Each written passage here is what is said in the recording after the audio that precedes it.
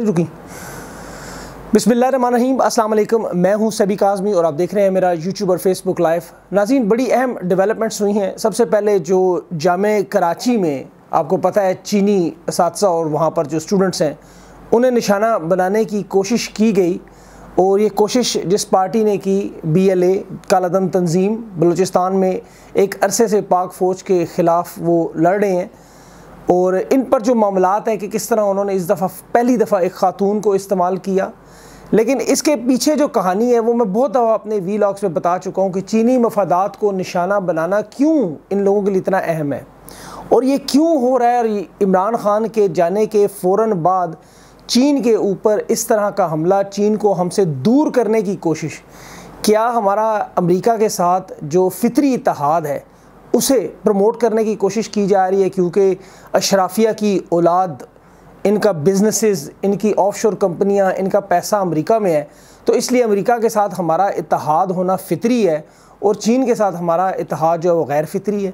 क्या ये मामला है चीन जो हमेशा हमारे साथ मुश्किल वक्त में खड़ा रहा, हर मुसीबत में उन्होंने साथ दिया, हम क्यों उनके यहाँ पर मौजूद लोगों को महफूज नहीं रख सकते? मेरे दुनिया भर में चाइनीज़ दोस्त हैं, आप जानते हैं। वो लोग ये सवाल पूछते हैं कि आप लोग हमें तहफ़ फ्राहम करने में क्यों नाकाम हैं? अब ये मामला इसलिए वो उन्हें नाराज़गी है कि 30 मार्च को ये अलर्ट आ चुकी थी कि किस तरह जाम कराची पर ये चाइनीज़ जो स्टूडेंट्स होंगे, वहाँ जो जो इस हैं, या लोग हैं, उन पर ये हमला होगा। लेकिन 30 मार्च से लेकर दौरान क्या किया गया? क्या वाकई जिस तरह इमरान खान की हुकूमत, आपको पता है, सात बजे से ग्यारह बजे तक बदली गई। एयरपोर्ट्स पर अलर्ट था हाई कोर्ट्स खुली हुई थी। किसी को बाहर नहीं जाने दिया जा रहा था, किसी को आने नहीं दिया जा रहा था। मिनटों के अंदर जो है वो अदालतों में रिट दायर हो गई। और ये सारे मामला जितनी तेज़ी से हुई, क्या अगर हम अपने दिफा पर, इन चाइनीज़ लोगों के दिफा पर इस तरह से तोजो दें तो क्या इस तरह के वाक़ात हो सकते हैं? नहीं, ये बहुत बड़े सवालिया निशान लग चुके हैं। चीन के साथ बिलाशुबा हमारी दोस्ती, उनकी मोहब्बत और पाकिस्तान के साथ दो तरफ़ा ताल्लुक बहुत आगे हैं। लेकिन जिस तरह हम लोग अब अपनी साइड बदल कर अमरीका के कैंप की तरफ़ जाते हुए वाज तौर पर नज़र आ रहे हैं। वाज तौर पर अभी देखें, शहबाज शरीफ साहब के कैंप में पूरी कोशिश की जा रही है कि वो जो बाइडन, जो इमरान खान को कॉल नहीं करता था, वो इन्हें कॉल करे, इनके साथ मामला रीसेट करें। इन्होंने कहा, रीसेट का बटन दबाएँ, सारी चीज़ें दोबारा फ्रेश होंगी, हम आगे, हम आपके तमाम मफादात को संभालने के लिए तैयार हैं। अब इसीलिए ये मामला जो हैं आपके सामने नज़र आ रहा है, वरना बलूचिस्तान में जो लोग इनके साथ हुकूमत में जुड़े, अख्तर मैंगल और बलूचिस्तान अवामी पार्टी, इन लोगों ने टूटते वक्त, अब देखें अख्तर मैंगल का बयान याद रखें, जिसने ये कहा कि सिर्फ़ चार सीटों की वजह से हमने इमरान खान को वज़ी अजम हाउस से बनी गाला पहुँचाया।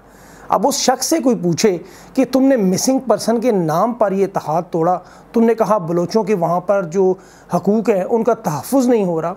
बलोचिस्तान अवामी पार्टी भी ऐसे ही उछल उछल कर बात कर रहे थे। आपको याद होगा उनकी प्रेस कॉन्फ्रेंस अब बलोचिस्तान अवामी पार्टी अख्तर मैंगल हो गए ये तमाम लोग जो नाराज़ बलोच हैं, उन्हें क्यों कौमी धारे में नहीं ला रहे?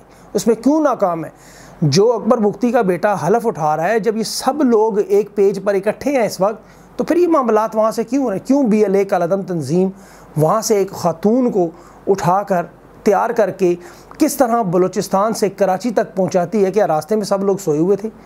क्या ये ये लोग, ये जो बाप या अख्तर मैंगल या बुख्ती ख़ानदान, क्या ये वहाँ बलोचों को रोक नहीं सकते कि अब तो रुक जाओ, अब तो हुकूमत हमारी है, अब तो रेकोडिक का जो माल चलेगा, यहाँ जो नौकरियाँ आएँगी, जो इमरान खान जुर्माना माफ़ करवा के यहाँ तमाम मामला ठीक करके गया, वो तमाम मामला ठीक होंगे, अब आ जाओ नीचे पहाड़ों से, आओ बैठो नीचे बातचीत करो, लेकिन ऐसा होगा नहीं, क्योंकि ये लोग सिर्फ़ ये चाहते हैं कि चीन इस मुल्क से निकल जाए। चीन को खत्े से निकाल दिया जाए और उसके बाद अमेरिका की वो बालादस्ती जिसकी जंग ये लोग अब लड़ रहे हैं वो मुकम्मल तौर पर पाकिस्तान पर छा जाए इमरान खान यही कोशिश कर रहा था इमरान खान ने जो रूस चीन चीन और उसके जो ब्लॉक के साथ जो कोशिश कर रहा था वो यही कोशिश थी कि हमें सस्ता तेल मिले हमारी तजारत बढ़े हमारे से मामला बेहतर हों इसी तरह देखें सी पैक की वो अथॉरिटी जिसे काम तेज़ करने के लिए कहा जा रहा था उसे भी रोक दिया गया है बहुत से ऐसे मामला हैं और मैं आपको बता रहा हूँ कि बिलाशुबा चीन के अंदर भी आपको पता की हुकूमत में भी कुछ ऐसे अनासर मौजूद हैं। जिस तरह हमारे यहाँ मौलाना फजलरहमान है पी डी एम है, बहुत सारे ऐसे लोग हैं, महमूद चगजई वहाँ पर भी ऐसे लोग हैं जो मियाँ शहबाज शरीफ को पसंद करते हैं। लेकिन बड़े लेवल पर वो लोग इमरान खान को पसंद करते हैं। वो जानते हैं एक ऑनेस्ट और एक दलेर आदमी है, जो इस तरह खड़ा होकर अमेरिका के सामने बात कर सके। इन लोगों के अंदर ना इतनी ज़रूरत है, ना इन्होंने करनी है। ये बैगर्स नॉट चूज़र्स वाला मामला है इनका। इसीलिए ये लोग चाहते हैं बस इनका काम ख़त्म हो। इन्हें कोई दिलचस्पी नहीं है पाकिस्तान की खारजा पॉलिसी से। इन्हें कोई दिलचस्पी नहीं है पाकिस्तान के इस कैंप में, पाकिस्तान की नौजवान नस्ल, आने वाली नस्ल का इस खत्े में क्या मुस्तबिल इन्हें कोई दिलचस्पी नहीं। इनकी दिलचस्पी सिर्फ़ और सिर्फ़ अपने ख़ानदान के लिए फ़ायदा उसकी देखें, बड़ी मिसाल। इन लोगों ने तीन बेंच तोड़वा दिए मरीम नवाज़ को जल्द अज जल्द इंसाफ मिलने में।